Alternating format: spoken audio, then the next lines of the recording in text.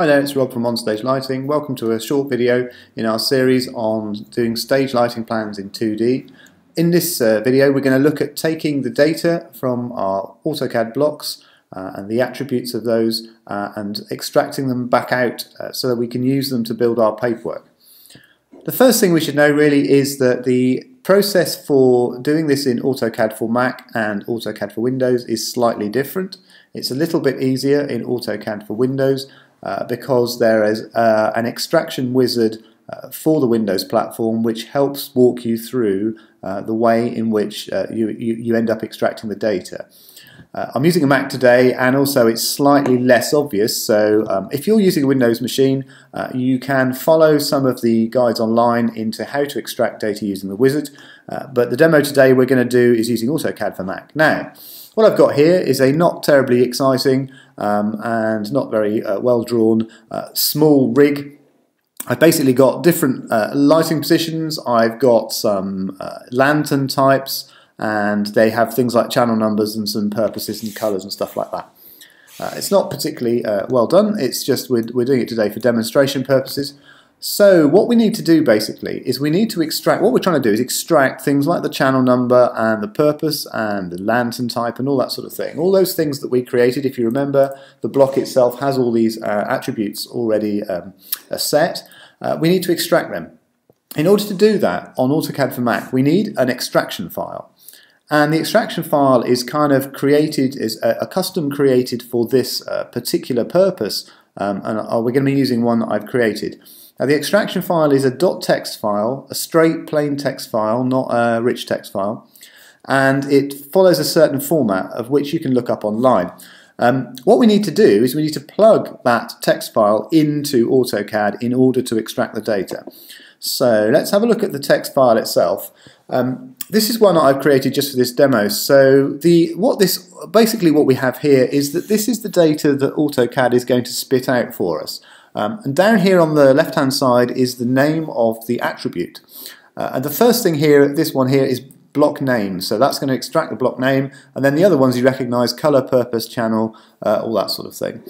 The, uh, the characters along uh, from the actual attribute itself denote various things. Um, basically, uh, the uh, type of data that's coming out. In the case of the data that starts with a C, it is character data. If it starts with an N, it's numeric data. So you can see the block name is a character data. Um, the series of numbers afterwards, basically the first three numbers relate to how many characters or numbers, in the case of the numbers, are going to be extracted. Um, and then the next three numbers, basically, you can uh, they're to do with the um, the the way that it's presented uh, places. So you can just set those to zero zero zero zero. So in this case, for the color, we have character of four characters. Um, we might need to change that if we had um, something that wasn't a L or an R number followed by three numbers, but most of our gel colors are three numbers plus the uh, plus the uh, prefix. Uh, the purpose and the block name are down as being 30 characters. The channel number is down as being uh, 3 characters and it's numeric, so that would be up to you know 999 channels. Uh, the wattage is up to uh, 4 characters because it's 2000 watts. Um, so basically, that's this this particular file. As I say, it's a, it's a text file, um, it's a plain text file, um, and it has it's sort of what we use to plug it into uh, AutoCAD in order to then extract the data. In order to extract the data, it's quite a simple process, but sometimes it can be a bit confusing to actually do it. The thing we need to do is we need to extract the data. Now, what the command we use to do that is basically um, we'll hit the uh, hyphen or the minus sign to start with, and then we're going to look for ATT for attribute, and then we're going to extract it. So when it want EXT, that gives us this command here. Now, when we hit enter, it says what kind of data do we want to extract. And in our case, we want it in CDF format, which is a comma delimited format. So we're going to pick that first one. It now says at the top, uh, select template file. So what we're doing now is we're, we're selecting the file that we've just looked at, which has those strange little bits of text in them, that is the, the template that is going to extract that data. So uh, it's got it here, and then I'm going to hit open, and then it says create extract file. So this here is this file now that it is now where you are going to put it and what it's going to be called. So that's where the data is going to be. In this case, I'm going to put it on my desktop. I'm going to call it my lighting data and it's going to come out as a text file. So I'm going to hit save and then we're done. Nothing seems to have happened, but we are actually done. What I'm going to look for in my Finder now, if I look on my desktop, I should find my data itself. Now if I pop this open, I will open this up so it's nice and big and I will zoom so it's also, you can see it.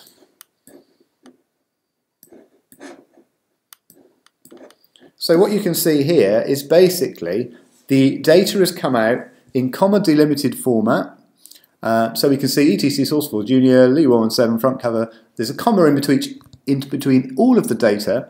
There is also, where there is a character uh, string, there's also um, these little single quotes around them as well. Obviously, this isn't any good for what we actually, um, we can't actually use any of this data because um, it's sort of in a slightly weird format and we, we actually want it to, uh, to be look like, we want to go, go into a spreadsheet if you know your spreadsheets, you'll know that you can in, in, insert this kind of data into a spreadsheet, but at the moment it's just opened up in TextEdit, so we, we need to actually open it up in something else.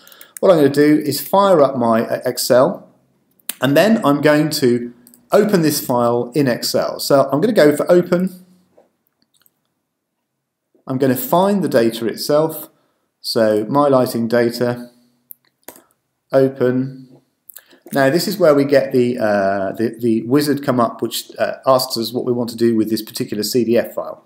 Uh, you can see down here a preview of what it looks like. So this preview, can, we can see it just looks a bit of a mess like it did before. It's been broken into rows, but it hasn't really been, nothing else has happened to it. So what we're going to do is the first thing we're going to do is going to go on to the next window. So it's a delimited format. Next, right, it's comma delimited and it's down as tab, so we're going to hit comma as our delimiter, which starts to break the data into pieces. You can see Lee 117 front cover. And then what we want to do is we want to set the text qualifier to this single quote. What if you see that's done is it's stripped out, it's stripped out those single quotes. Now we can go next and do whatever. We're actually just going to go finish now. So we hit finish. Now you can see here um, the data itself now has become something much more usable for us in terms of something that we can uh, use to make a, a, a fixture schedule, a, a, channel schedule, and all those sorts of things. Um, you can see, if you remember the data we were using, you've got the block name, you've got the color, you've got the purpose here.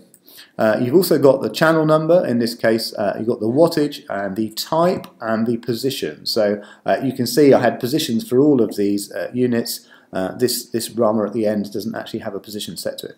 But if you just look at this, you can see now, um, you can see how this data can actually be start to be used in order to generate your paperwork.